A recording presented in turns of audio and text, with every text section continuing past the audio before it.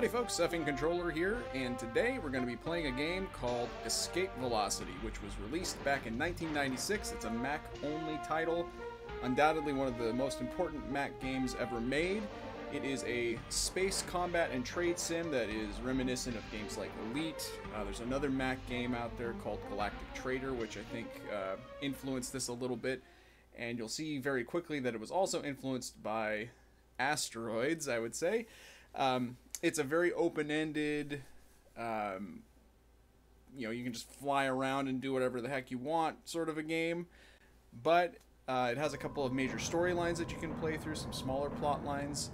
And uh, it's really one of those games though where there's not much stopping you from just cruising around and making a ton of money through trade or piracy or some of the different missions that are available.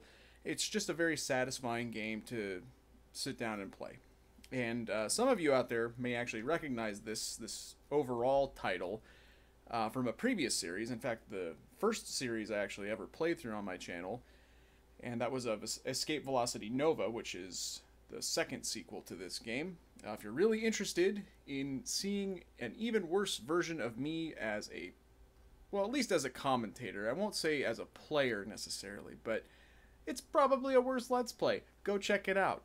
Um, Anyways, I'm going to be playing this game partially, though, as an excuse to show off the computer that I'm playing it on, which is a Macintosh Performa 476, which was manufactured in 1993. I have restored it, recapped it, um, but there's nothing really that I can do that's going to keep this computer from being old. And, well, listen, it's got a 25 megahertz processor. Um, you'll notice some slowdowns here and there as we play through. As a matter of fact, this game or this this machine shouldn't even be able to play this game uh, because it doesn't have enough RAM. It only has eight megabytes, which is not enough for this old Mac to to run all of its system software and this game on top of it. So I'm cheating a little bit and using a utility called RAM Doubler, which I think pretty much everybody who had a Mac back in the day probably ran RAM Doubler, but. Um, it it does memory compression. It's not that exciting, but anyways, uh, there's interest in this machine and its inner workings, how I got it up and running. I could do a separate video on that, I guess, but uh, for now, let's get started. Let's create a new pilot named Edit Text or Rick Hardslab, Biff Hard Cheese. Um, you'll notice a few references here and there in this fine game. For now, I'm just gonna just gonna build the brand, man. Gotta build the brand. It's what the algorithm wants. Effing controller. Uh, it said something there about strict play. That's basically hardcore mode. If you die, you're dead. Your pilot's done. You gotta start a new one. We're not gonna be doing that because I fully intend on finding numerous, um, occasionally humorous ways of dying. But I will die a lot in this, and um, it's just not a good choice to have it be strict play. And uh, I have to name my Rendelli Star Drive 805R cargo shuttle, which I'm going to call the Tater. It's a suitable name, I think. And it's really thinking about all that. Um, all right, I think we're ready to go. Let's uh, see what happens here.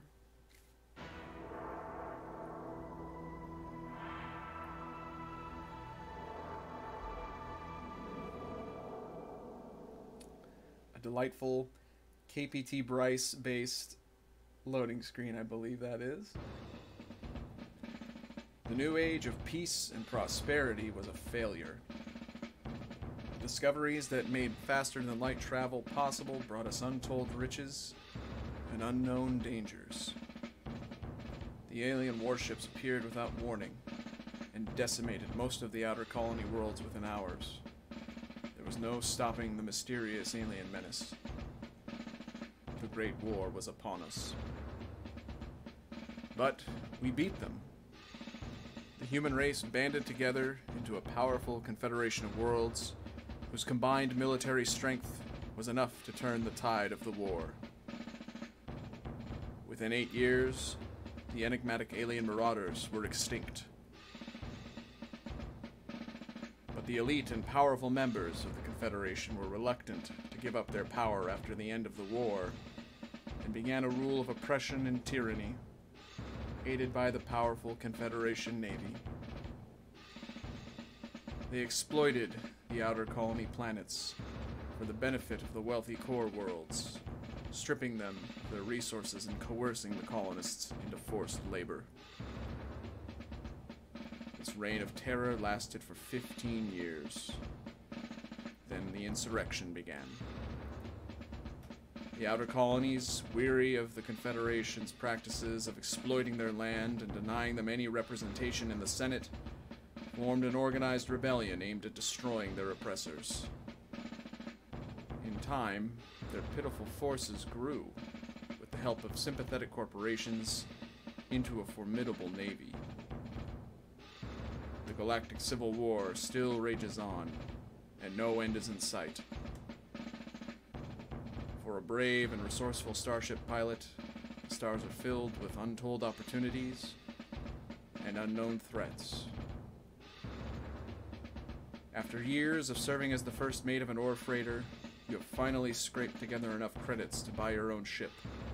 A small but sturdy cargo shuttle.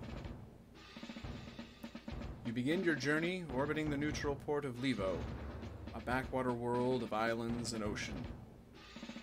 The rest of the galaxy awaits you, offering great wealth or a quick death.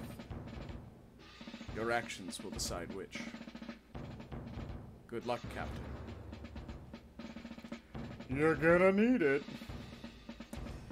I certainly will. But, uh, I've played this here game a few times. I know some of its tricks, its nuances. Don't even need to read this tutorial text at the bottom, but I actually am going to follow it. It says that I should uh, land on the planet Levo, but I should also probably, for your benefit, explain what in the hell you are looking at. That uh, blue little marble there, that is the planet Levo. You can see that there's a ship that I've selected there in brackets. That's a, I won't say an enemy ship. For some people, all other ships are enemy ships, but for me, that's just another ship. This, uh, you know, white Chevy Astrovan looking thing in the middle of the screen that's floating around in space is our shuttlecraft. It's our sole ship in this crazy mixed up galaxy. And you can see that we have some kind of Newtonian physics going on. I'm spinning around even though I'm continuing on in this direction, this southerly direction. There's asteroids in there. Uh, they don't actually hurt you. Uh, we'll see what they do later, but uh, you can just kind of float around. But really, the bread and butter of this game is what you do on the planets. You're trading, you're interacting with the economy, and to a certain extent, some of the interactions with other captains, some of which are violent in nature, some of which are perfectly congenial. We can go ahead and hail them, for instance. We've hailed this friendly neighborhood scout ship. I'm going to say greetings. And he says, greetings from a fellow trader. Well, I'm convinced that he's doing absolutely nothing suspicious. I'm going to land on the planet Levo. Levo is an independent world that has resisted joining the Confederation. Anyone is welcome at the tiny but neutral Levo spaceport located on the island of Loconda in Levo's southern ocean. Uh, Levo is a fairly simple port. It only has a few things that we can do here. It has a commodity exchange. Trading can be very, very lucrative in this game, but you have to know where to buy and where to sell. And there's a lot of there's there are a ton of ports, and I don't remember what's good where. Honestly, um, I, I could try to jot things down. I don't know, but a lot of those resources are sadly gone as far as you know, like FAQs and such. Um, there used to be a site that had that stuff, but it's it's well, I don't think it had that in the first place. I'm thinking of evula.net, but that site is down, and I don't think it had a trading guide for this particular game. In any event, um, really, when you're starting out, your bread and butter is going to be running missions. And we have just three missions here.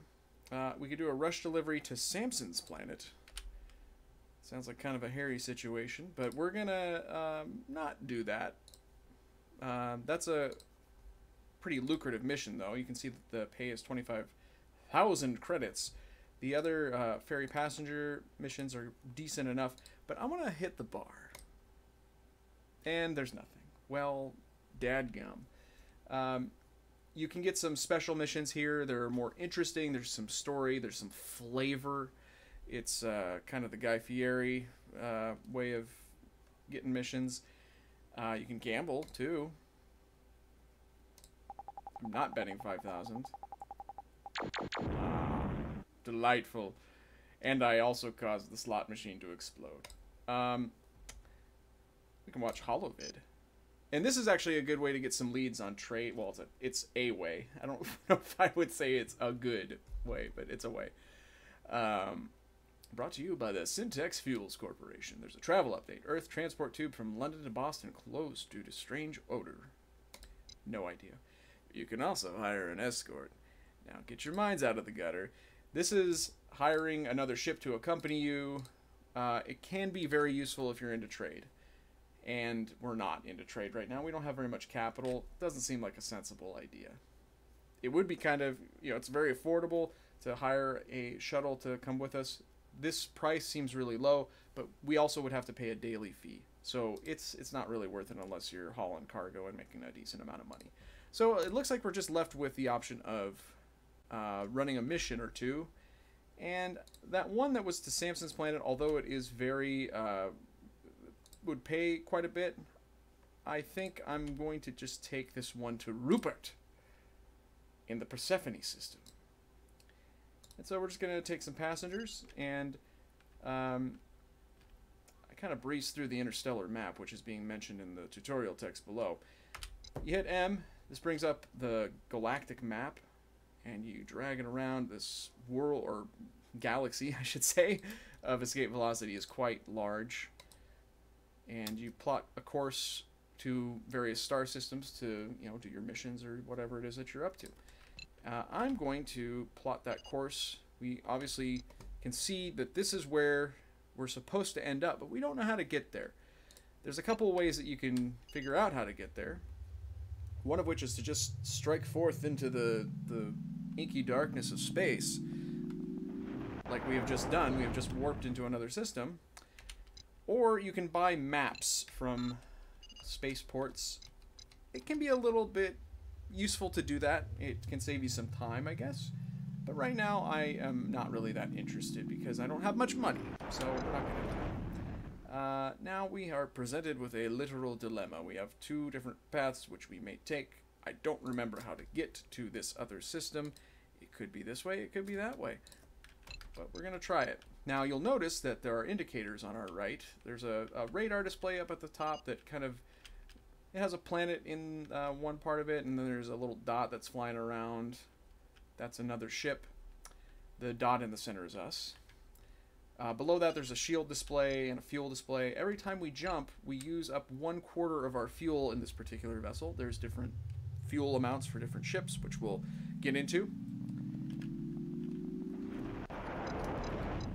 And um, when I warp into a system, you'll notice that I'm kind of tabbing through all of these different ships. There's a few Rebel destroyers in this system here, which is uh, a little bit unnerving, but uh, they're they're friendly to us. They they think we're perfectly innocuous, and at this point in time, we are. We are definitely not a threat to them. I am going to land on this planet of Beeblebrox. refuel my ship because I'm not exactly sure. I think if I go here, I can go here and then I think I can go here.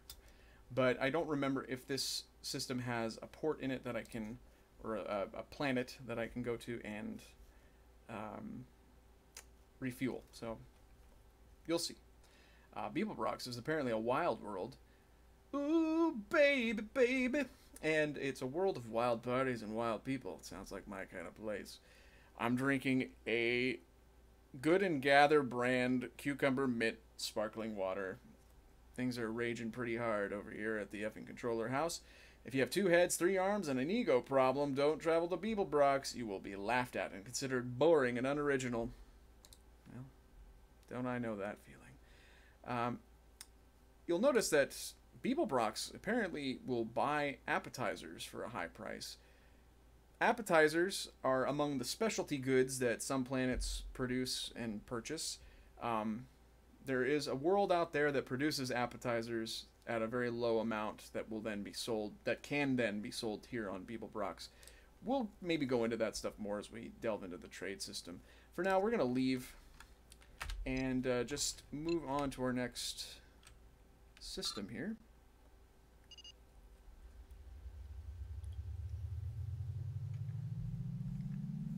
And I gotta tell you, this cucumber mint good and gather, it sucks. It's not good. It, it, it tastes like a dill pickle, and uh, it's not good. Anyways, there's there's some combat happening. You can hear some explosions and laser blasts and all kinds of stuff. Uh, rebels and Confederates will sometimes happen into each other in these systems, and usually a fight breaks out. There are also pirates, and they will try to kill you. They will target you immediately. Fortunately, we've had a rather uneventful trip here to Rupert. And the passengers exit our ship after paying the fee of 10,000 credits. Rupert is a small moon that is home to a colony of religious fanatics, followers of the Order of the Holy Mac. Maybe it's Mac the Knife. We don't know. And in fact, they do have a uh, specialty good that they want computers. Um, they also have some low prices on some other stuff. I'm just bearing this in mind for, for later when I maybe will delve into the trade system more. You can see though that we've doubled our credit amount, which is great. So we have quite a bit more money. Uh, there's uh, this bar is perplexingly decorated with examples of primitive computer technology, though you can't fathom the reason why. Well, listen, I am playing this on a crappy old Mac, so I think I understand more than you know. Uh, these rush delivery missions are really the the single most important way of making money early in the game. Um, the only problem with them is that they take up almost all of your cargo space usually, and so you can't stack missions. Uh, that is also a really important thing. You can see here actually that we have a, a, mission to ferry passengers to New Columbia and then a rush delivery to New Columbia. I don't know where New Columbia is necessarily, but I'm going to take that because passengers actually don't take up space. They just sit on your lap. And things get real awkward real quick. But uh, we can't take any more of these delivery missions because we're all out of cargo space. We could take more of these ferry passenger missions. That's out of the way. This, I believe, is out of the way. Well, it's actually further on, but I'm not going to bother with that. I'm going to refuel my ship and uh, hit the road. One, two, three, four. Perfect. And yes, you are probably seeing some random little bits of lag, especially in systems where uh, there's a ton of ships. That tends to happen. This little computer technically should not be able to play this game. It came out in 1993, and then this game uh, came out in 1996, and that, that is kind of I wouldn't say unfathomable to a modern PC gamer or whatever that you have a computer that's three years old and it simply cannot play uh, a game released uh, three years after you purchased your computer, but it was kind of a reality, especially for Mac users of the day. Plus, to be honest with you, things were moving pretty rapidly with technology back then. I feel like uh, there was a lot of improvement happening. Again, this was a 25 megahertz machine, and then around that time we were getting Pentiums that were well beyond that. Um, Macs were uh, not clock doubled like a lot of PCs, so um, the megahertz count was not as important for them. But in any event, uh, that's a boring topic for people not interested in it. Uh, but I, I, feel like um, playing this on this, playing this game on this computer, I should say, felt somehow important to me just because because of these unprecedented times. In these in these exceptional times as we're so often reminded that they are um, it just felt like uh, a nice nostalgic comfy thing to do. And it's been a great process to restore this old mac. I've been really enjoying it. It was fairly straightforward. Cosmetically this thing is not in the best shape but uh, the the guts were in great shape overall. So I've been able to get it up and running, and it's been fantastic. I've been playing this game amongst many others, and it's been a lot of fun. and they're games that I wish to share with you as well. So, this is just the start, folks. In many ways, both of this series and of effing controller turning over a new leaf, perhaps? We shall see. We shall see. Uh, there's three planets, planetoids, maybe I should say, in the system. There's Tau Ceti 4. Oh, whoops, that's not what I wanted. Um, I want to hail that planet. There's no response. Oh, I can land on this planet. Well, let's, let's, uh... Well, maybe let's do our business over on, uh, New Columbia. Which, if I recall correctly, is inspired by the Pacific Northwest. And so our shipment of food has been unloaded, and the passengers exit. That gave us a nice, tidy sum of money. New Columbia's rugged terrain forces its inhabitants to live mostly around the port city of New Seattle. Much of the planet is still unexplored. Yes, indeed. Uh, let's go to the bar. Darn. Uh, see, now this would be great if we had more cargo space, or this, frankly. But we can't do both of these, so that's too bad. Could do one of them. Where's Murphy's World? We also want to do that. What I usually ended up doing uh, when I was in my youth playing this game is I would start by picking a, a ferry passenger mission plus a rush mission. Although, uh, if these aren't nearby, then it doesn't really make a ton of sense to do it that way. Let's try this one. Let's go to New France. Okay. I was going to hit the other planets in this system, but that's okay. You know what, actually, though? We have plenty of time. This shuttlecraft is fairly speedy. Uh, let's land on this planet and just kind of check it out. Tau Ceti 4 was first visited by the colony ship Marathon. Hmm. Doesn't seem relevant. Uh, let's land on the planet Merlin. It's a moon, I would say, more than a planet. It's the largest moon of Tau Ceti 4. Its size is sufficient to hold an atmosphere, and conditions on the on Merlin are quite Earth-like, save for the somewhat lower gravity. The inhabitants of Merlin hold human-powered air races several times a year. It's kind of the uh, the Red Bull Flugtag planet. It sounds like. Anyways.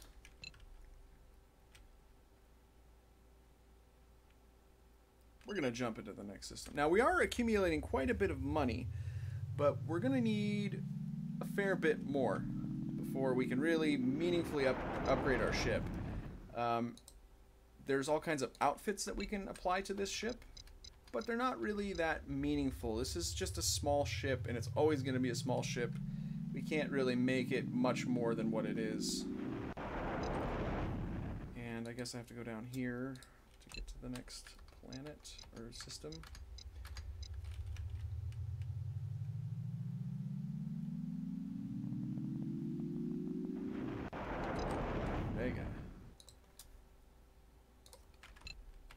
Watch out.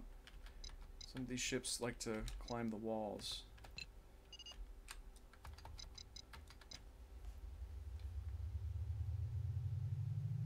Their aerial attacks are unstoppable. What am I doing? Let's land on New France. Here we go. And we have unloaded our rush delivery there. Let's refuel our ship. New France was colonized during the Great Expansion as a center of culture, learning, and enlightenment. Now it has the highest number of gift shops and burger bars per capita of any known planet. Sort of a cynical statement about tourism, I guess. Anyways, uh, Luna would be a nice place to visit. One thing you can do is just kind of scan through these. Sometimes you'll get missions that are 10, 10 tons to 10 tons to transport, and you can take two of them. So I'm just going to do two of these. I'm going to take uh, this cargo delivery to New Ireland and this transport cargo to Antares Station. And they're not rush deliveries. They're not super remunerative. But that's okay. We're exploring the galaxy a little bit. And that's, um, it's important for us to know where things are.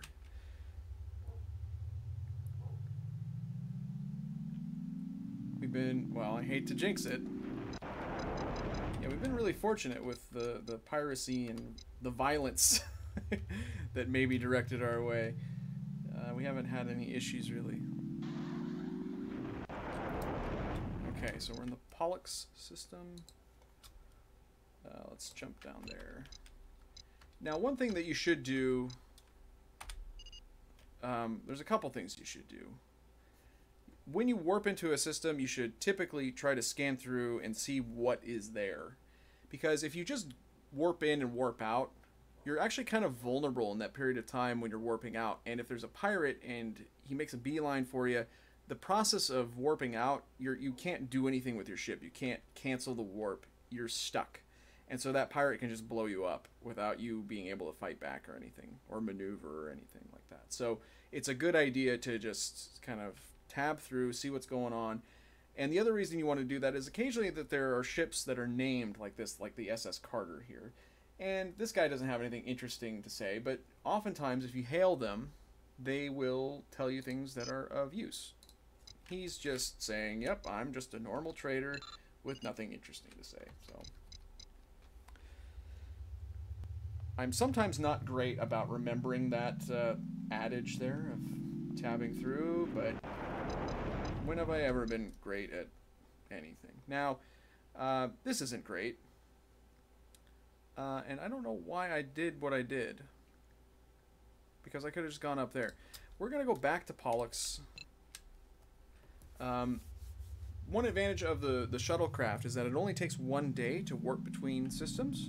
That's very important, especially later on when you're trying to trade and you're accruing escort fees because they pay by the day. So it can get pretty expensive if you are like in between planets for like three or four days. You're paying a lot of money. New Japan is a peaceful island world and a well-established colony. Okay. I did not get a chance to show you the outfit ship screen. This is actually a pretty extensive planet as far as upgrades, but you can see there's all these different things we can add on to our ship. Uh, this would be of some use, but we don't have the mass on our ship to be able to accommodate this. We could buy laser cannons, proton cannons. Might be kind of fun to try piracy in this piece of junk, but probably not going to work out too well. Uh, this is sort of a useful upgrade, but really I'm not going to use this ship too much. What I'm aiming for is this ship, the Courier. We're getting there. We are halfway there. I've been yammering quite a bit. Um, but this is what I want to upgrade to. It has uh, 50 tons of cargo space, which is more than double what we've got now. And it has fuel for eight jumps. It has uh, a turret installed, which I would actually get rid of. There's no reason to have it if you're not going to do combat, which I would hesitate to do in this type of ship. But it's a it's a good ship. It's a really solid upgrade. This is a solid upgrade too, and we can buy it right now. But it's just not as good as the the Courier, in my opinion. When I was playing as a kid, I used to upgrade to this all the time. But I think that the the cargo difference, it's 40 tons as opposed to 50. Um, that that's still important. That's that's enough to warrant saving up for the Courier. Um, the Courier is also slightly, well, I was going to say it's slightly more robust.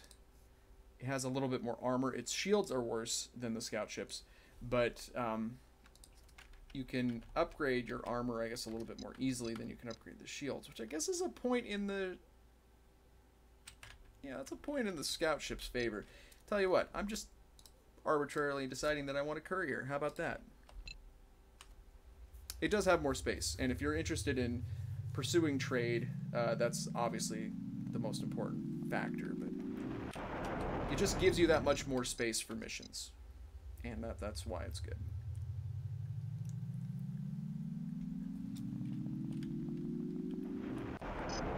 Okay, we're going to land here on New Providence. You can see that there's a bulk freighter. It freights bulk. Or is that where I'm actually supposed to drop off my cargo? These are both uh, bulk freighters. They're extremely slow.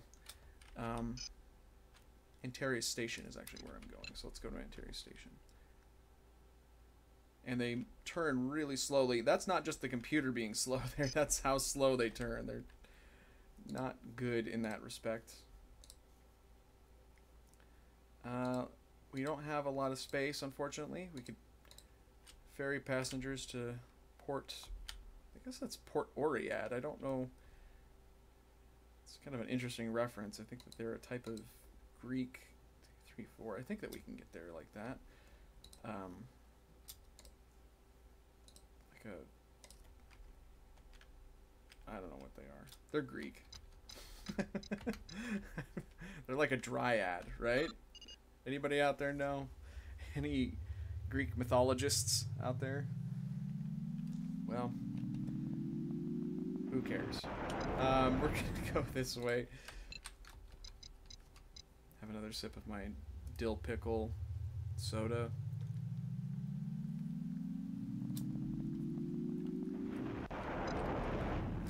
Yeah. I'll hail this guy. Yeah, there you go.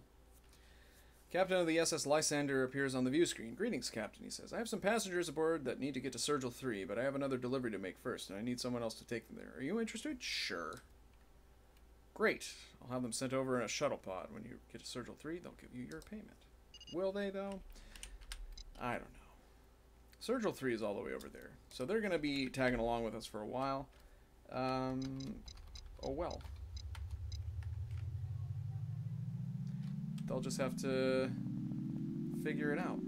Get comfy. Oh, rats. So, we can go this way or that way. I think this way is correct. Now, we're in the Altair system. It says no stellar objects present, which means no planets. I guess a star is a stellar object, right? Presumably, this is a star system of some kind. It just has nowhere that we can land, so...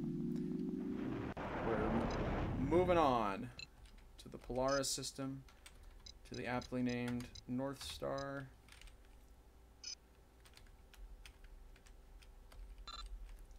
Refuel the ship. The nighttime sky of North Star is truly a sight to behold. The luminescent rings that circle the planet carve a glimmering arc across the sky each night, providing a spectacular show for natives and visitors alike. Um, I'm hesitant to go to the bar because I don't really have any cargo space. If somebody has an interesting mission for me, so I'm just gonna get out of here. Of course, I could have gambled, could have hired an escort and mitigated that whole issue. And really, I think that that might not be an awful idea. Oh, we're being targeted by a pirate argosy, which is may you may not be able to tell based on how this is being rendered, but it's the dot that is immediately well, it's kind of to our uh, 10 o'clock. It's flashing every now and then. So, just kind of juke them a little bit. We have a delivery to New Ireland. There's three different little planetoids here. This is New Ireland here. So we're going to land here. There we go. Okay, let's see if we can find a rush delivery that takes us a little bit closer to where those passengers are from, Sergil. That's really close, so let's bear that in mind. Tabletop. Everybody's favorite type of gaming. Tabletop. Uh, you know, you can't really argue with that one. That's a really, really close mission to do. Suppose you could just gobble up a bunch of ferry passenger missions and just as you go through the galaxy, you'll every now and then have a planet where you can drop people off. Suppose that's a way of doing things. Seems kind of annoying though, and I think you might have a maximum number of missions you can take, which I don't know if I've run into or not, but that stands to reason. Uh, ah, this is an interesting star system we're in. Is it the one I'm thinking it is? Yeah, Blackthorn. There's a space station here that is a little bit seedy, but we're gonna move on out of here.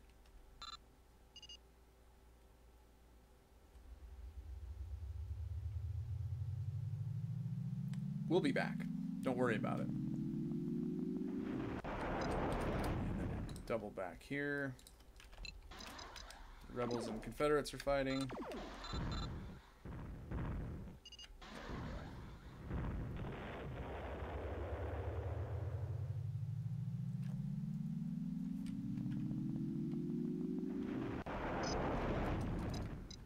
Oh. This is one of the best uh, ships in the game. It's called a Kestrel. But it's piloted by somebody named Skipjack. Oh, I thought that he was fighting someone. Let me hail, hail this guy and see what he's got to say. We bounty hunters make our living destroying pirates for whoever will pay us. Okay, well, duly noted. Uh, interesting name for a bounty hunter. It's a type of tuna, but anyway. we just made quite a bit of money. I'm going to grab a couple... Hunter is home to the famous Orion trouser snake, excuse me. Um, I want to grab a couple missions if I can. Master's Planet is over here. I know vaguely where it is.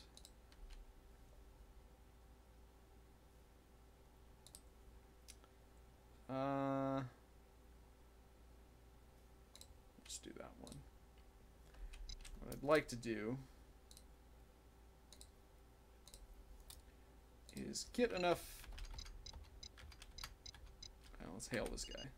Okay, never mind. Get enough money so that we can buy a courier and end, end the video there. So you're stuck with me for another few minutes. Too bad.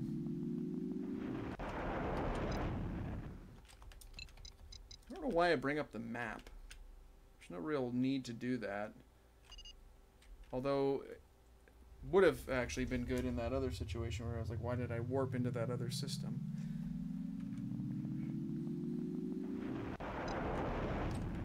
Uh, there's several pirates here, and one of them is a Corvette, which is dangerous because the man piloting it is having a midlife crisis. And he'll do anything to kill us. But they're fast, and you can see that they fire tracking missiles. Now, we have the great fortune to be in this particular system, and those missiles will hit most of these asteroids. So we're going to be pretty much safe. But had this been a system that was less asteroidy, we would have been in some trouble. And we better boogie. Okay, good. I heard that other that additional additional missile launch. It's hard to say and uh, thought for sure that he was going to hit us with one. I'm going to land here, and I'm, I'm debating. Don't mind me. Pegasus is a small mining and research colony on a moon orbiting Perseus 2. The Reckoning. Let's just get to our next uh, mission point before I call it an episode.